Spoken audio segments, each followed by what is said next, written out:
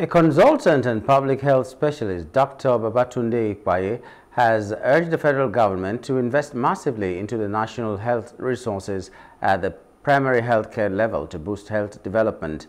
Ipaye, who was a former commissioner for health in Ogun State, stated this while delivering a keynote paper at the 2024 Physicians Week of the Nigerian Medical Association NMA Ogun State branch that people living in the rural areas need basic health care.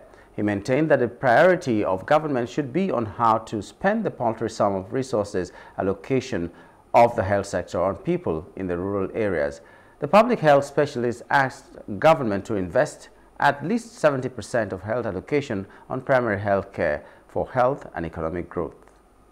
Our resource allocation is paltry, but Nigerians don't live in the cities. You know, most Nigerians live in rural communities, and their health needs are basic.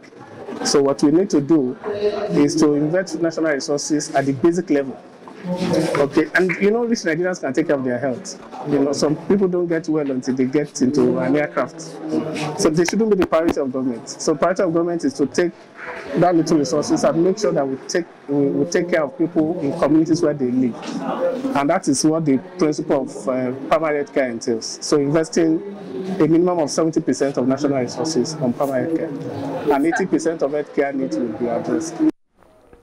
Speaking of the main theme of the 2024 Physicians Week, ensuring universal applicability in remuneration, a panacea to talent retention in the health system, Ipaye insisted that fair and just compensation would help in reducing disparities and equally motivate workforce.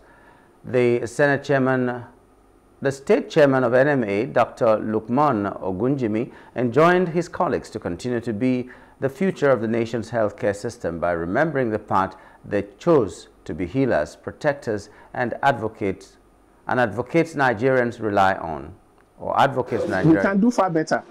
So we have a size of economy that's about 350 million billion dollars. That's the size of our economy. And then if you can raise the proportion of health investment within the economy to about 10% of the GDP, you can double the remuneration. So what, but what that requires is that the resources that are being spent out of pocket on non-resourceful or non-rewarding, you know, health investment, like Bamu Bamu or and all that, can be channeled properly into the real sector, and that can grow the sector and make more resources available for both remuneration and infrastructure and quality of service. Hello. Hope you enjoyed the news. Please do subscribe to our YouTube channel and don't forget to hit the notification button so you get notified about fresh news updates.